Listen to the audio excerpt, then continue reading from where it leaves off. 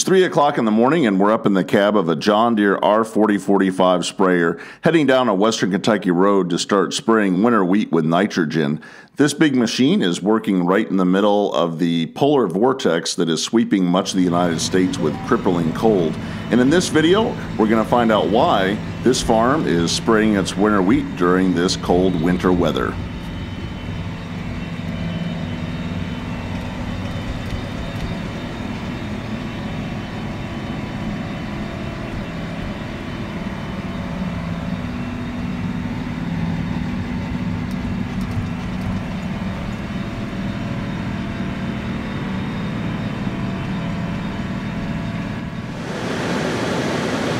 Hey, Big Tractor Power fans. We're heading out to the field here in January to see big sprayers, John Deere R4045 spraying. Uh, we're kind of in the edge of the polar vortex that's sweeping the country. It is 16 degrees out today, but these sprayers are out here getting the fields ready for the 2019 wheat harvest by getting the fertilizer down. In this video, we're going to spend some time out in the field watching these big sprayers apply nitrogen and climb up in the cab of one of them to see the operator's perspective. As the video gets started, we've got an opportunity here to see all three John Deere R4045 sprayers stopped in one place. Normally they're spread out far apart from each other, often in different fields. So it's neat to see all three big machines here. They are fitted with 1200 gallon tanks and have 120 foot booms, so they can cover a lot of ground in the day. And we'll take a minute to see them as they depart and start working out in the field.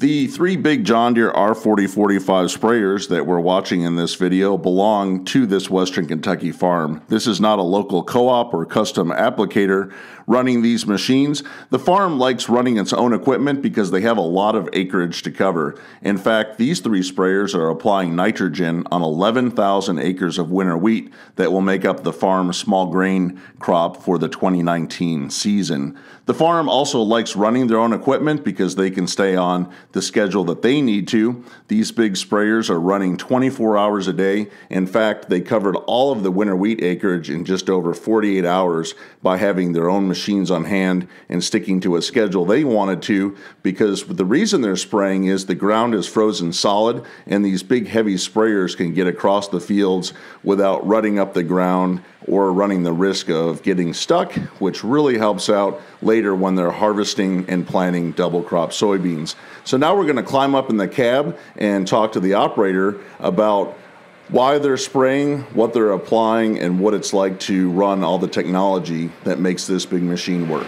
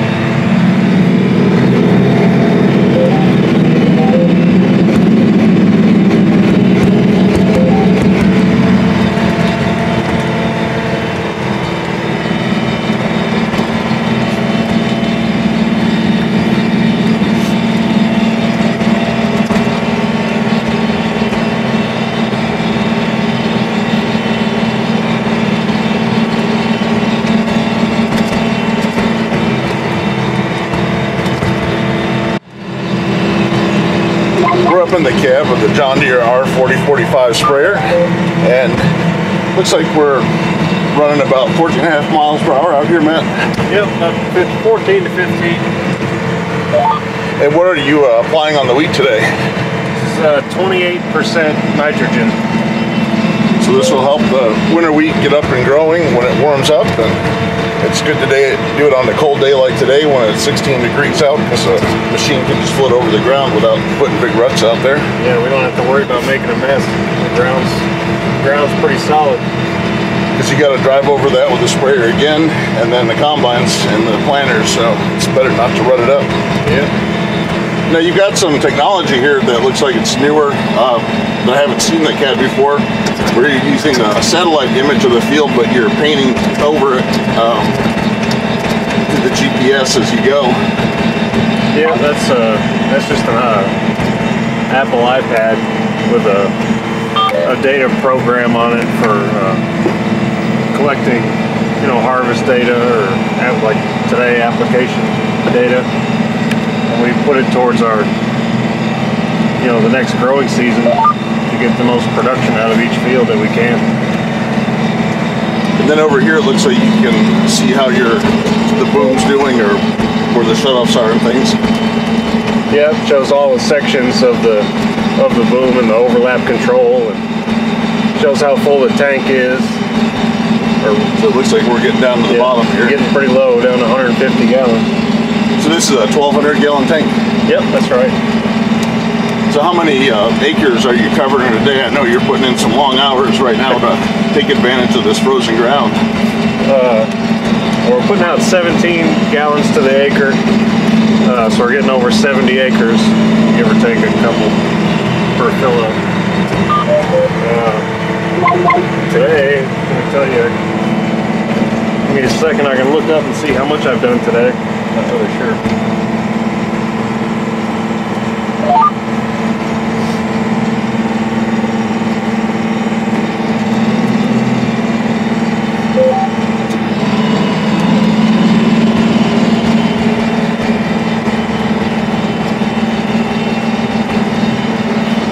Eleven hundred, just just hit eleven hundred acres for today. Wow, that's a lot of ground with one of these, but I've got three of them out here running, so yeah they can cover some ground in a hurry.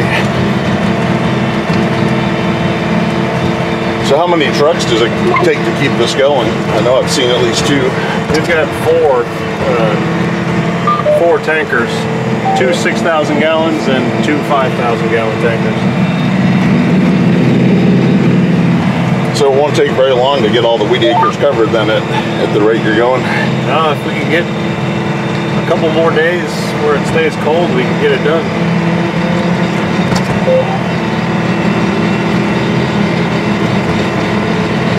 Well, thanks for the tour of some of this technology, and it's always neat to be able to see what your perspective is up here.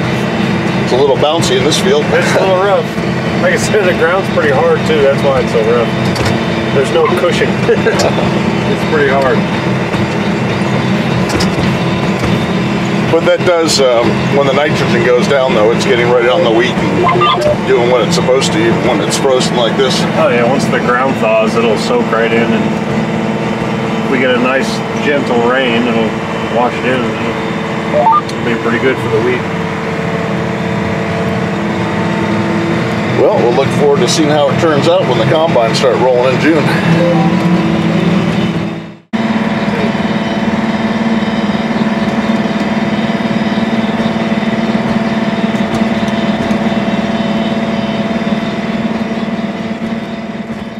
Just saw a handy feature that this sprayer has, and that's a breakaway boom. When you're running as big and wide and fast as this machine is, when you're doing the border of the field, you can always run the risk of having a branch or a bush jump out, and you saw where the boom can just break away and then snap into position and keep on running like nothing happened. The sprayer has covered another 70 acres. It only takes 15 to 20 minutes to cover that ground and empty out the 1,200 gallons of nitrogen onto the field. So now we're going to pull up to one of the semi trucks and see how they fill up the sprayer.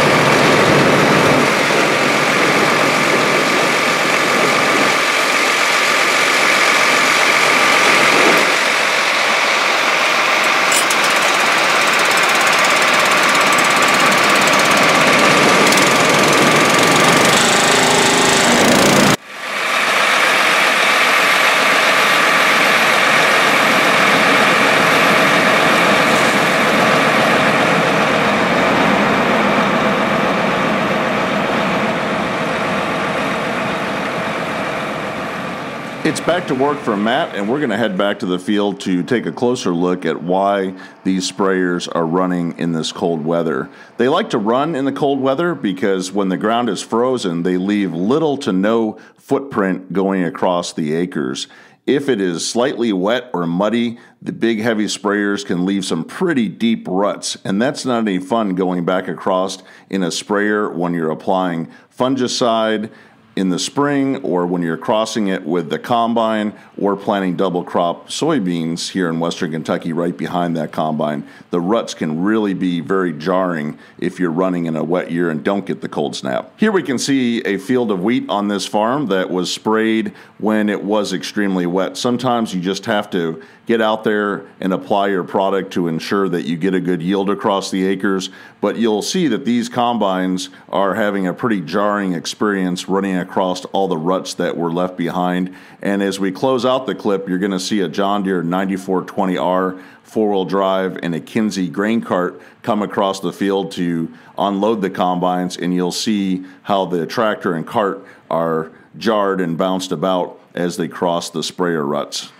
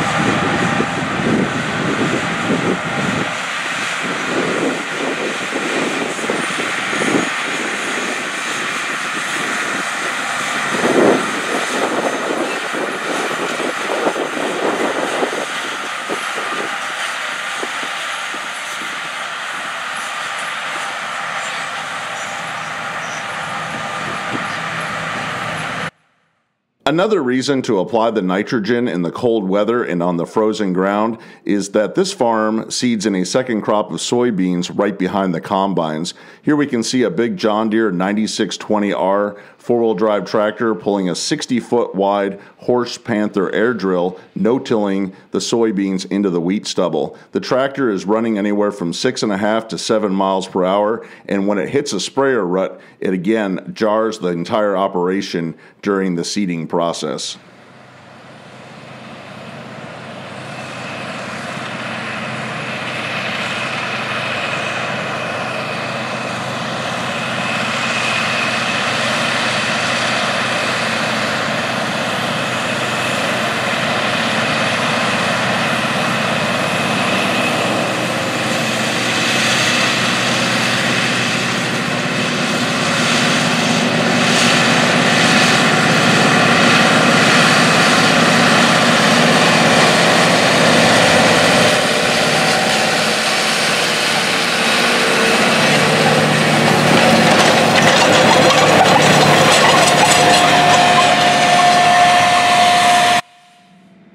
As you can see, a freezing day is a great opportunity for the upcoming cropping season to apply this nitrogen. Typically in western Kentucky, a cold winter day is 30 degrees. So to be able to get down to 16 degrees and have the ground good and frozen, and at night it dropped all the way down to 9 degrees, was a big advantage for this farm and many other farms in the area to get the winter wheat fertilized. Let's take a look at the John Deere R4045 sprayers specifications. This is the largest rear boom sprayer offered by John Deere today.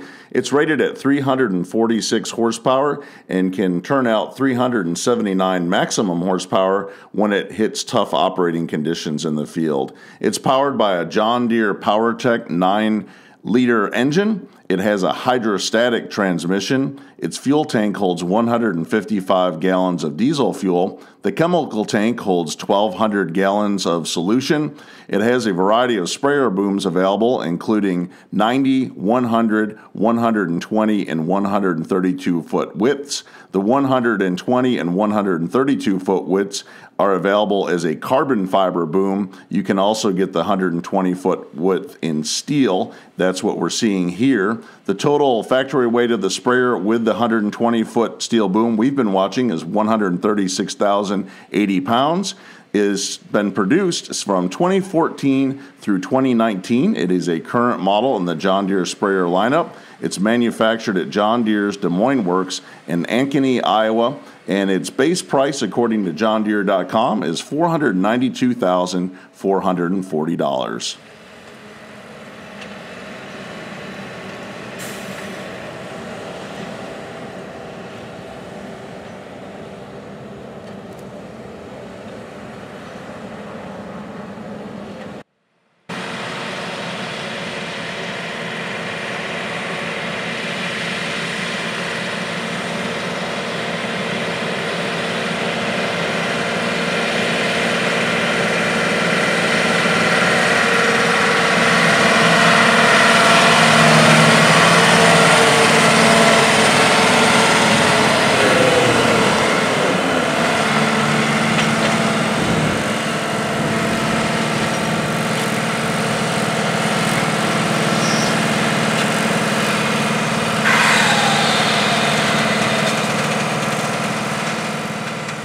I hope that you've enjoyed hearing, seeing, and learning about the John Deere R4045 sprayer running in cold winter weather while applying nitrogen to winter wheat. While 16 degrees is pretty cold and it's perfect running weather to get this fertilizer applied to the field, it's not as cold as many as other places were in the United States during the polar vortex. Some places got as low as minus 75 with the wind chill. Places like Michigan, Wisconsin, the Dakotas, and many other places. Here in Western Kentucky, there's usually some sort of big machine running 12 months out of the year, and this was a good opportunity to get the wheat ready for the 2019 harvest in June. If you've enjoyed this video, I hope that you'll consider subscribing to Big Tractor Power YouTube, where there are over 1,000 videos of farm machines in action. If you have any questions or thoughts about the video, please post them in the comment section below as I try to respond to every post that is made. If you would like to get a preview of what is coming up next on Big Tractor Power YouTube, make sure to check out Big Tractor Power Instagram, where I share pictures and short video clips of what is currently being filmed in the field. As always, thank you for watching.